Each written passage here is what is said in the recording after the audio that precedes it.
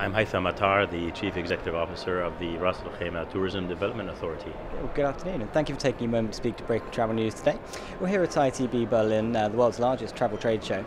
How important is it for you and your colleagues from Ras Al Khaimah to be here um, representing the destination? Um, as we know, ITB is uh, you know one of the largest uh, trade shows around the world with over 10,000 exhibitors, uh, and it uh, really is a great uh, platform uh, for us to meet and engage with the, some of the key tour operators and travel agents, uh, not only in Europe but in some cases across the globe, who make their way to this uh, particular show. Year on year, we've seen Ras Al Khaimah's presence uh, extend uh, in terms of space of stand and also in terms of participants on the stands. So we have more hotels joining us, we have more uh, DMCs joining us on on uh, on this trip to Berlin. Uh, we also have had a fantastic uh, first day, and as you see today.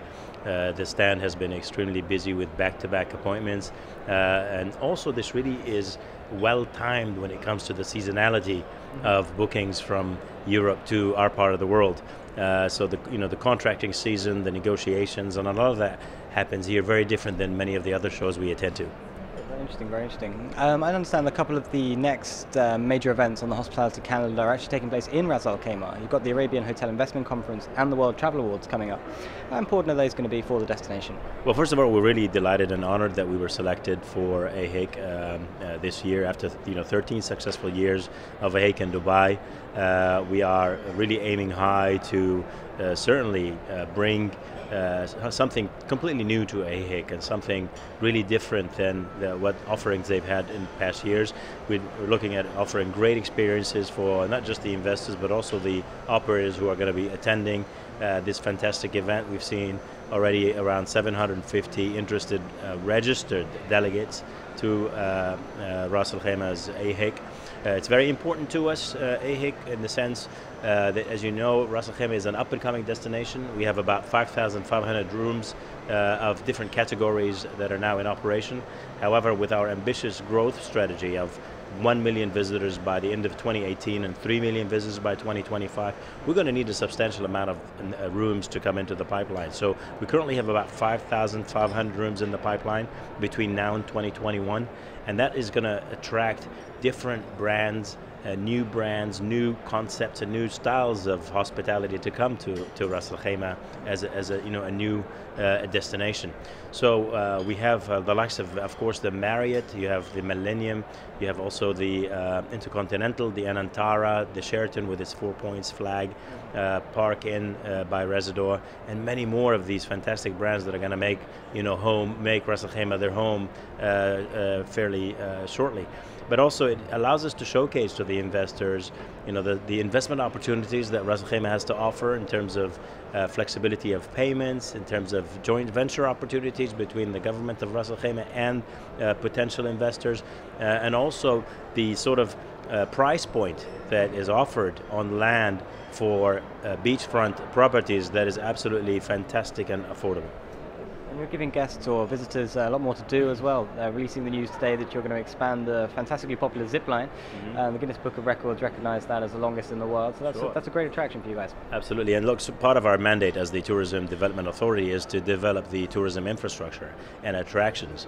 Um, and we've been uh, quite successful in first launching the Via Ferrata, which was the first commercial Via Ferrata. It's a climbing ground with three different stages and three zip lines. Uh, it's, been, it's been very successful. It is the next best thing to nature, and we've seen a great uptake for that. That really inspired us to do a little bit more and go further, especially with the zip lines, and hence the uh, longest zip line in the world project, which was uh, opened last month. And we've seen a fantastic uptake from that, not just by the you know the, the media and, and the word of mouth and the viral uh, um, uh, uh, um, announcements of this fantastic uh, product. However, we've seen great number of people already come to uh, to experience the zip line. So far, we're over uh, 1,850 people who have done the zip line since the opening uh, around uh, January 29th. Just a final question. You're working towards your ambitious Destination 2019 strategy. Um, what steps are you taking there to, to boost the visitor numbers as you mentioned? So, uh, a number of co-marketing activities partnerships with airlines, partnerships with charter operators, also uh, not only on the B2B front, but also on the B2C front, where we've gone on dynamic marketing activities in some of the key source markets, and also the potential new markets. We've entered new markets with uh, key partners like Emirates Airlines, such as Croatia.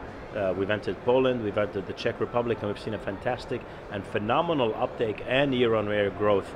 So um, also repositioning the destination to, remo to remove that misconception about it only being a destination that has a great beach and beach resort offering uh, to a destination that has this plus you know, great uh, nature and uh, uh beautiful scenery, uh, adventure opportunities, mountain biking, hiking, the zip line we talked about, um, also camping, uh, stargazing, and, and a lot more, you know, that the destination has to offer, the, whether it's in the sea, whether it's in the desert, or whether it's in the mountains, plus that authentic Arabian uh, culture that has been preserved for many years in Ras Al Khaimah and the, the sense of Arabia, accessible Arabia when you first arrive into Ras Al Khaimah is, is still felt when you, when you uh, drive into the Emirate. So this has been really helpful in us driving the strategy, in us driving our growth by making the destination more and more attractive and appealing to the different types of markets.